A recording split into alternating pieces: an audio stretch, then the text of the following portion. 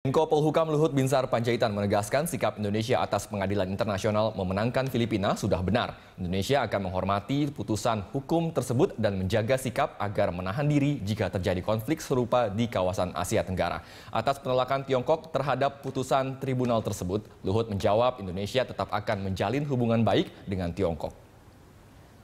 Saya kira akan tetap baik, ya, karena eh, apa,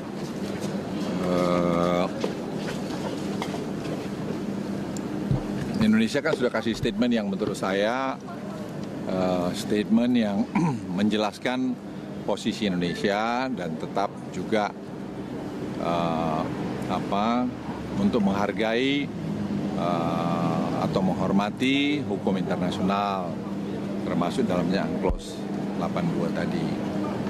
Saya kira itu dan kita tetap memelihara persahabatan